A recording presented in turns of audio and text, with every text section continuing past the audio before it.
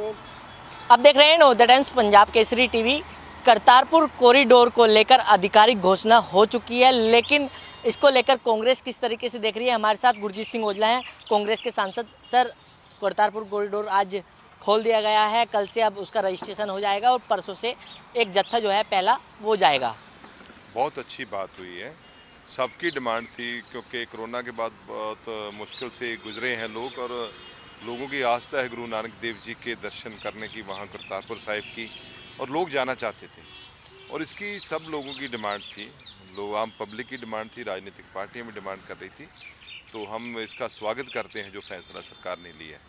लेकिन कल से अब रजिस्ट्रेशन शुरू हो जाएँगे और परसों से जो है वो जो दर्शन है वो हो पाएँगे। बिल्कुल ये करतारपुर साहब एक ऐसा रास्ता खुला है मनुष्यता का जो एक अच्छा संदेश देता है। दो कंट्री में आपको पता था कोरोना की वजह से एक, एक ये रोक दिया गया था दोनों तरफ़ से रास्ता। तो अब कोरोना प्रोटोकॉल ख़त्म हो चुका है। सब जगह पूरी ट्रैफ़िक में जैसे बस पूरी जा रही है ट्रेन भर के जा रही है जहाज़ भर के जा रहे हैं। तो वहाँ एक प्रोटोकॉल रख के आप जा सकते थे। तो सबकी डिमांड थी कि दोनों कंट्री में बात कर कर तो इंडियन गवर्नमेंट ने अच्छा किया है कि पाकिस्तान गवर्नमेंट से बात कर कर ये रास्ता खोलने का प्रयास जो है ये अच्छी बात है। और ये एक ऐसा रास्ता है जो मनुखता को भले की, जो गुरु नानक देव जी हैं, उनको सब लोग मानते हैं। मुसलमान भी उनको मानते हैं, हिंदू भी मानते हैं, सब लोगों का वो गुरु हैं। तो वो गुरु नानक देव जी की जो शिक्षा है और उसके चलते हुए जो उनके अनुयायी हैं जो लोग उनको मानने वाले हैं वो दर्शनों के लिए जाना चाहते हैं। ये एक बड़ा अच्छा काम किया है सरकार ने दोबारा खोल कर। लेकिन सर इसको लेकर लगातार बीजेपी जो है लगातार तीन दिन से पहले उन्होंने जो प्रधानमंत्री हैं नरेंद्र मोदी उनसे मुलाकात करी और उसके बाद जो राष्ट्रपति हैं उनसे मुलाकात करी। गृह मंत्री अमित शाह के साथ रात में मुलाकात हुई है और उसके बाद आज जो है आधिकारिक घोषणा हो जाती है। कैसे देख रहे हो इस पूरे तीन दिन के सिनेरियो को? मैं कमल जी ये बात कहना चाहता हूँ। ठीक है उनको भी प्रयास करना चाहिए। लेकिन ये जो आप, ये उन्होंने किया है ना, ये मेरा ख्याल दो हफ़्ते पहले शुरू करते तो अच्छा लगता था। ये तो कहीं भी नहीं है कि आप आज आपने प्रधानमंत्री जी से मिला, राष्ट्रपति जी से मिला तो कल पाकिस्तान से रातों रात बात कर कर आपने खोल दिया। ये तो ऐसा कभी भी नहीं होता, क्योंकि इसमें बहुत कुछ इंटरनेशनल लेवल पे होता है, अंतर्राष्ट्रीय, क्योंकि दूसरे देश में जाना है। तो ये तो प्रयास जब लोगों का दबाव था पहले से तो सरकार का भी मन बन गया खोलने का तो उन्होंने इनको बुला के बोला है। कि आप आ जाइए हम खोलने जा रहे हैं।